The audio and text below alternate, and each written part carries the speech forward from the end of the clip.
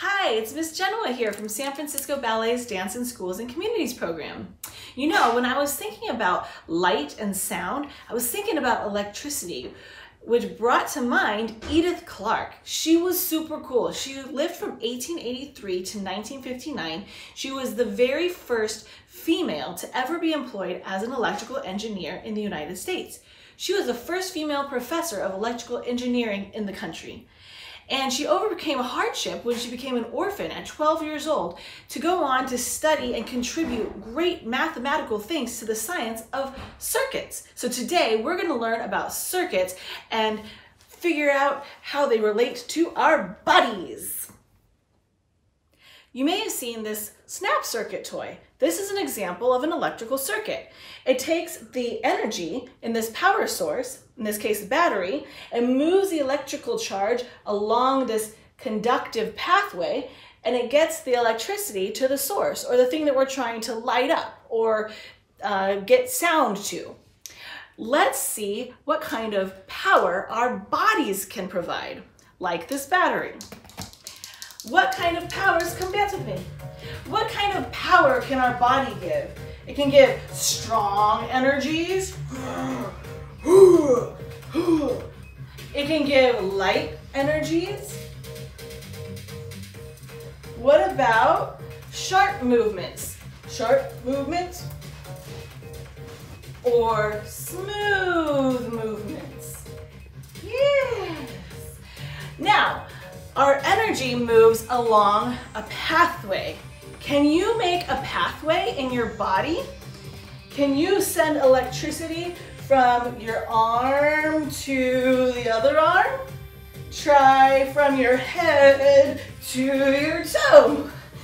Can you send electricity from high to low?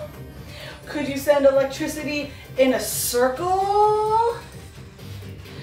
Maybe you can send electricity in a curvy pathway all around the room.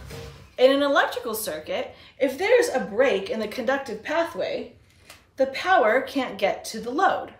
Let's play around with closed and open with our bodies, just like a closed or a broken circuit. Let's try making a closed circuit with our body. Closed and open. Scout, try this with me. You could do a different body part even. Closed and open. You could do close small and open. And you could do close with another person and open. Now let's try doing when we have a closed circuit, we move around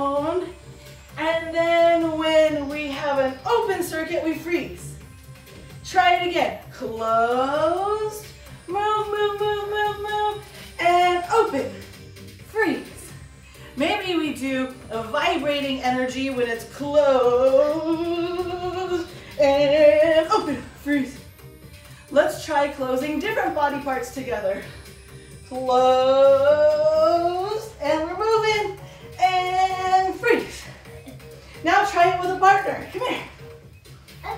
We make a closed circuit and move around?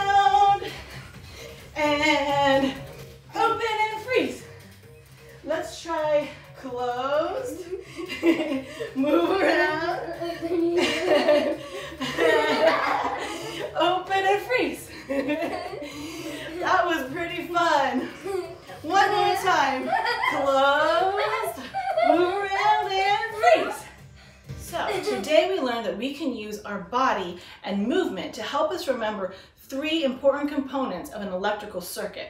First, we have the power source, right? Like a battery or an electrical outlet. And that's like the energy in our bodies. Strong, light, sharp. We also have the conductive pathway, like the wires in an electrical circuit, or the pathways in our bodies. We also have the load, the thing that needs the energy, like a light bulb. And we played around with open and closed circuits that stop and start the electrical power. So we learned today that we can be creative. We can create art and ideas about meaningful topics, even science and electrical circuits. Enjoy the rest of the show.